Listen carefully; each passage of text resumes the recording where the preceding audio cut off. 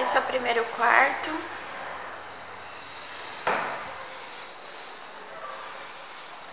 Esse aqui é uma suíte.